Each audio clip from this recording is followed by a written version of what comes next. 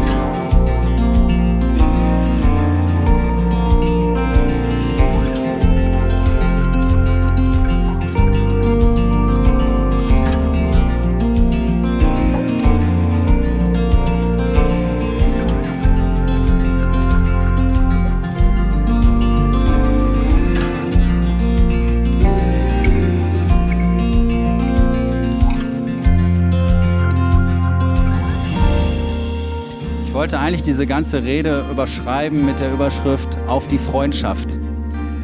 Und das ist das ganz Besondere. Freundschaft ist eine Sache, die passiert vielleicht eigentlich manchmal zufällig, aber muss sehr, sehr viel Glück im Leben haben, um Freunde zu haben, mit denen man grübeln kann, mit denen man lachen kann, mit denen man vielleicht auch weinen kann, aber auf die man sich auch verlassen kann. Und man kann mit euch beiden lachen, man kann mit euch beiden ernst reden und man kann mit euch beiden riesig Spaß haben und das ist was sehr, sehr Schönes.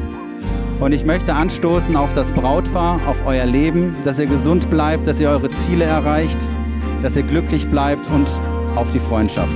Zum Wohl, auf euch.